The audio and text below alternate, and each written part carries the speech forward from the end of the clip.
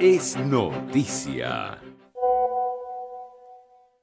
La diputada de la Asamblea Nacional, Milagros Paz, envió un mensaje de esperanza y acompañamiento a los sucrenses. En el día de hoy queremos desde la Asamblea Nacional ratificar nuestra solidaridad, nuestro afecto, nuestro cariño y por supuesto nuestro acompañamiento a todo el pueblo del Estado Sucre, a los 15 municipios y las más de 56 parroquias que componen nuestro hermoso Estado Sucre, deseándole una feliz Navidad, un próspero año nuevo e inyectarles esa energía para que Dios mediante el año que viene nosotros podamos seguir trabajando en la consolidación de un Estado donde haya libertad, un Estado donde haya democracia, un Estado donde los gobernantes sean capaces de trabajar por la gente y con la gente para tener mejor calidad de vida a todos los sucrenses de verdad. No desistamos, la lucha continúa y seguiremos estando desde las calles no solamente de Sucre, sino de Venezuela, trabajando de la mano con el pueblo.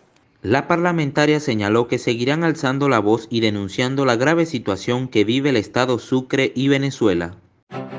Es noticia.